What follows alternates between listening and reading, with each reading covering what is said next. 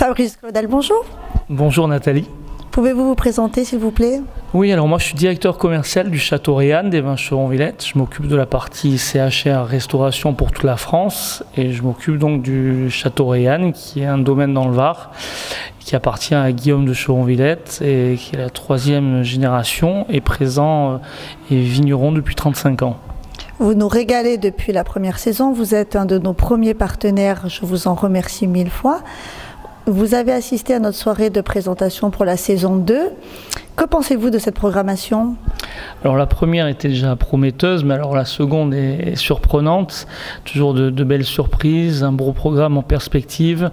Euh, la troupe des éclaireurs, qui, euh, moi je suis, un des premiers fans, je pense. Et euh, je pense qu'on on va vers une année très, très étonnante, surprenante et pleine d'émotions. Chevron-Villette est un domaine viticole varois qui se situe au Canet des Morts. L'œnologie et le théâtre sont a priori des domaines différents, mais quel est le lien, quel est leur vecteur commun? Oui, alors c'est vrai que nous, euh, nous avons choisi un axe de communication sur le sport et la culture en partant du principe que le vigneron était un artiste et que donc euh, lui faire euh, rencontrer d'autres artistes et mélanger les milieux, on a, on a trouvé ce slogan l'art de conjuguer les talents qui résume bien l'idée qu'on veut faire, c'est qu'effectivement quand on fait rencontrer plusieurs artistes, ben, généralement il, il sort des belles œuvres nous, nous c'est la cuvée Proésie, par exemple, avec l'artiste Sable.